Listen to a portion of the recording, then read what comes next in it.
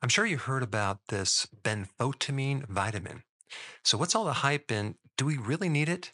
And what is it good for? Benfotiamine is a fat soluble B1. Normally, B1, called thiamine, is water soluble. And so, there's several advantages of having this vitamin in a fat soluble form. Number one, it can penetrate membranes that are made out of fat much easier, like by a factor of 360% more penetration. So benfotiamine is really good for anything neurological, anything brain, especially peripheral neuropathy, where you have the bottom of your feet tingling, numbness, burning, or that could be on the hands as well. So, what is it actually doing? One of the big things it's doing, it's inhibiting the formation of something called AGEs. That stands for Advanced Glycation End Products. Now, what is that? Well, that's basically this uh, formation of sugar with a protein or sugar with fat that's um, morphed into this unusable protein. So, for example, when you are a diabetic and you test for blood glucose levels, uh, a lot of times they'll do what's called A1C. And that test measures for this term glycation, which basically means how much damage to your proteins in your blood is occurring like the hemoglobin is protein, right? So they can measure how much of that protein is unusable because it's glycated, because all the sugar interacts with the protein and kind of fuses it to make it unavailable. And so as the red blood cell is unavailable, guess what you get? You get a lot of complications from that. One being just lowered amount of the ability to carry oxygen. And think about the cascade of effects that that can create. Also, this glycation starts to accumulate in the mitochondria and it plugs up the machinery for your cells. So, benfotiamine is a very potent antioxidant type nutrient that inhibits the formation of this glycation. It also supports the myelin sheath, that outer covering of the nerve that allows the nerve to actually work. And on a deeper level, we need B1 desperately for several enzymes in our mitochondria involved in metabolism. Certain enzymes are dependent on B1. And if your cells don't have B1, boy, all sorts of issues start occurring. So, a lot of the complications, especially from diabetes, occur because of this lack of this B1. Because the more glucose you have flowing through your bloodstream, the more B1 you need. So by being a diabetic, you're basically sucking up all that residual B1 that you had, leaving you high and dry. Now, there are four main tissues in the body that are affected by diabetes more than any other tissues in the body. Okay, we have the nerve and the brain, kind of the same tissue.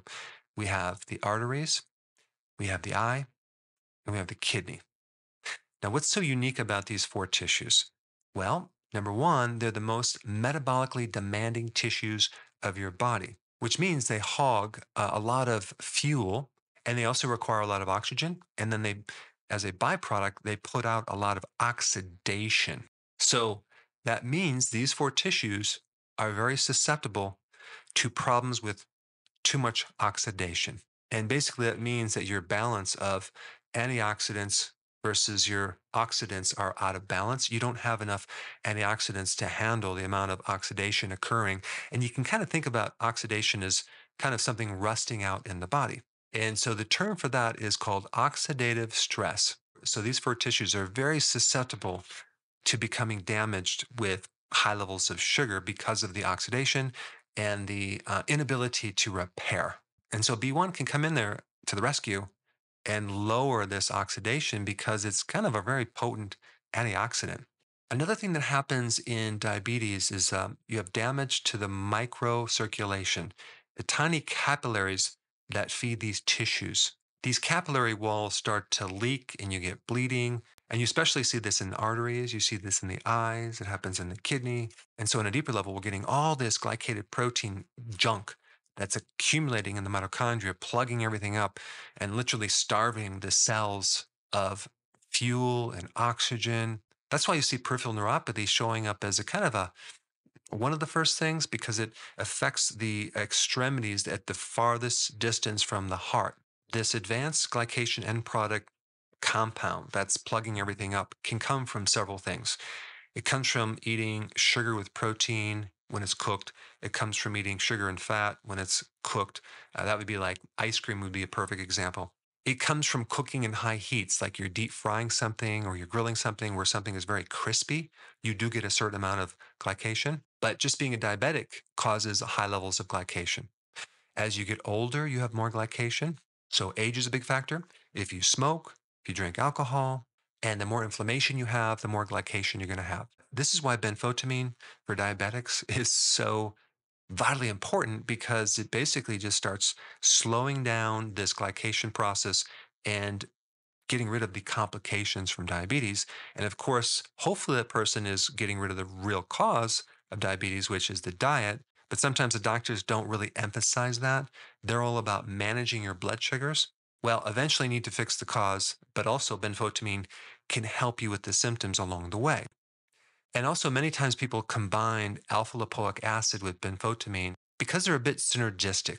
Alpha lipoic acid directly targets inflammation as well as that oxidative stress, whereas benfotiamine does that as well, but it also uh, supplies you with the necessary B1 for the enzymes in the mitochondria, as well as directly inhibiting the formation of that glycation. Now, inside your arteries, okay, uh, you have this l- inside layer of the artery, and it's called the tunica intima, which means innermost layer. And in that layer, there's a superficial layer of cells, and they're just like one cell thick, that are exposed to blood going through the arteries. And that's called the endothelial layer. That layer of cells, boy, that controls blood pressure, it controls all sorts of hormonal interactions. It gets hammered with this oxidative stress. And then you start getting inflammation and you start getting scar tissue and then you start getting more clots. One of the things that it does is it helps to prevent clots. But if it becomes damaged, you start getting clots. And there's also micro uh, blood vessels that are supplying the artery walls. And those are called uh, vasa vasorum, which means the vessels of the vessels. So the blood vessels also need blood to survive. And so all this high level of concentrated sugar in that area starts to create inflammation in those vessels, which are a little bit deeper. And then you start getting thickening of the arteries and stiffness of the arteries, which is not just going to lead to blood pressure problems, but a constriction of blood that's flowing through the arteries. In other words, insulin is anti atherosclerosis. In other words, it prevents this whole cascade of problem.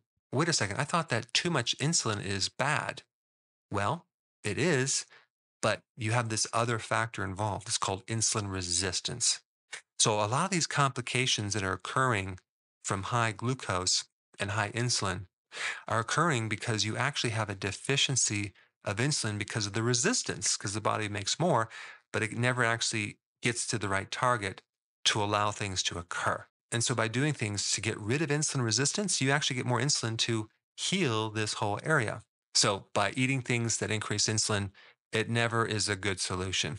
We have the arteries that are involved. We also have the kidneys that get destroyed. And so when you have this kidney filter that gets destroyed, you start getting this leakiness in the filter. So the holes become bigger and then protein kind of goes out, and then sugar kind of goes out, and then you can no longer recycle this. And so the kidneys start losing their filtration.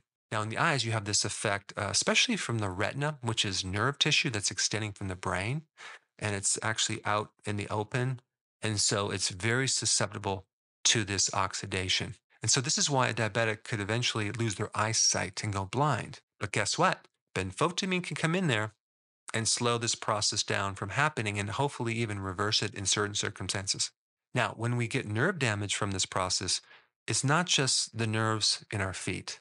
It's not just the neurons in our brain, which is also considered type 3 diabetes, but you also get destruction of the autonomic nervous system. There's something called diabetic autonomic neuropathy.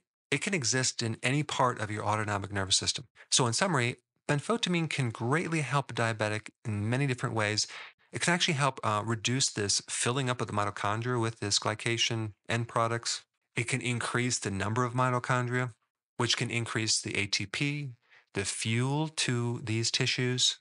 But remember, you also want to get on the correct eating plan at the same time. And if you have any questions on that, you need to watch this video right here.